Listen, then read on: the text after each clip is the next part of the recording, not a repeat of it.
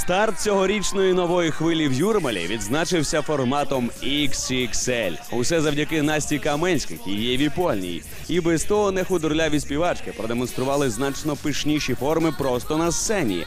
Проте в Каменських ситуація не схожа на звичайні проблеми із зайвою вагою.